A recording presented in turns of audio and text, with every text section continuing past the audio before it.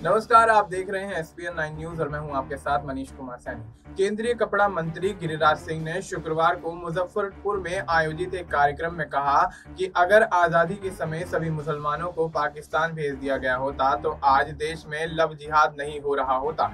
केंद्रीय मंत्री के इस बयान पर कांग्रेस नेता दानिश अली ने पलटवार कर दिया है। उन्होंने कहा है कि भारत देश गिरिराज सिंह की बपौती नहीं है।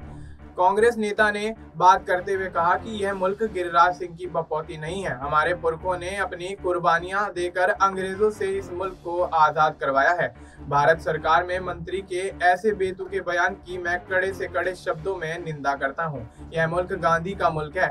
हमारी मिली जुली संस्कृति का मुल्क है। हमारे बुज़ुर्गों के पास यह विकल्प था कि वह धार्मिक आधार पर बनने वाले मुल्क में जाएँ या मिली जुली संस्कृति वाले मुल्क में रहना पसंद करें।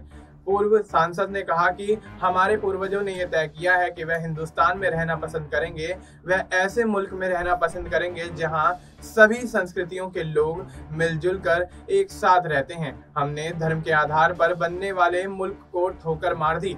उन्हें ऐसी बात करके शर्म आनी चाहिए। वह रात दिन सिर्फ़ जहर उगलते हैं। इसके बाद उन्होंने लखनऊ में उत्तर प्रदेश पुलिस द्वारा समाजवादी पार्टी के मुखिया अखिलेश यादव को जयप्रकाश नारायण की मूर्ति पर माल्यार्पण करने से रोकने की घटना पर कहा कि भारतीय जनता पार्टी यह सोच रही है कि उनके विचार के जो महापुरुष हैं, सिर्फ़ उनको ही याद किया जाना चाहिए। उन्होंने बात करते हुए बताया कि भाजपा की यह सोच है कि उनके विचार के जो महापुरुष हैं, सिर्फ़ उनको ही याद किया जाना चाहिए। महापुरुष महापुरुष होते हैं, चाहे वह किसी भी विचारधारा के क्यों ना हो। हम सारे महापुरुषों की इज़्ज़त करते हैं। आपको यहाँ ये बता दें कि शुक्रवार को अखिलेश यादव को वहाँ जाने से रोकने के लिए उनके आवास के बाहर बैरिकेडिंग और पुलिस बल लगा दिया गया था। अब ऐसे में इस मामले को लेकर कहीं ना कहीं अखिलेश यादव के समर्थन में तमाम पक्ष और विपक्ष के नेता उतरते हुए नज़र आए हैं और ऐसे में भारतीय जनता पार्टी को खुले तौर पर घेरते हुए नज़र आ रहे हैं। और देखा जाए तो चारों ओर से बयानबाजी